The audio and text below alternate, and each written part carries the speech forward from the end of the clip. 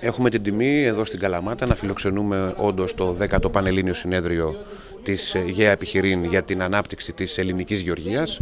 Για μας είναι ιδιαίτερη τιμή ως Ένωση Μεσσηνίας, γιατί ανήκουμε στην οικογένεια της ΓΕΑ Επιχειρήν εδώ και πολλά χρόνια και ως μέτοχοι αλλά και ως συνεργάτες. Και πραγματικά νομίζω ότι μέσα από αυτή τη διαδικασία των δύο ημερών θα συναχθούν πολλά συμπεράσματα για όλα αυτά τα προβλήματα που ταλανίζουν σήμερα τους παραγωγούς μας και που σίγουρα άπτονται της ΚΑΠ τόσο σε εθνικό όσο και σε ευρωπαϊκό επίπεδο. Σαφώς είδαμε και τις κινητοποιήσεις των τελευταίων ετών. Δημιούργησαν ιδιαίτερα το τελευταίο διάστημα σε όλη την Ευρώπη ένα τεράστιο ρεύμα όπου αναγκάσανε το Ευρωκοινοβούλιο και την υφιστάμενη σύνθεσή του να οδηγηθεί σε τροποποίηση.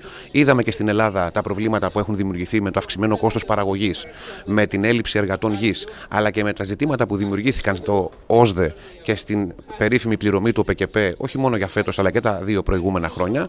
Νομίζω ότι είναι σημαντικό, επειδή η ΑΚΑΠ δίνει τα εργαλεία για να μπορέσουμε σε εθνικό επίπεδο να αναπτύξουμε την δέουσα χρηματοδότηση με βάση τη δική μας εθνική στρατηγική, να ανοίξει επιτέλους αυτός ο διάλογος για να μπορέσουμε πραγματικά να την ε, αξιοποιήσουμε ως ένα χρήσιμο εργαλείο, γιατί εργαλείο είναι, για να μπορέσει πραγματικά να δώσει λύσεις σε αυτά τα προβλήματα που απασχολούν τους αγρότες μας.